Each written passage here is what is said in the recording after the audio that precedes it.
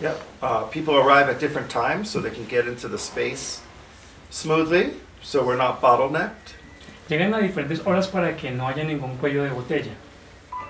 And if you are, if you have, if you're signed up with a friend and their friend has a different time, you just go to the earlier time of your friend. Si te inscribiste con un amigo y tu amigo tiene un horario distinto, llega al horario más temprano que tiene tu amigo. tutti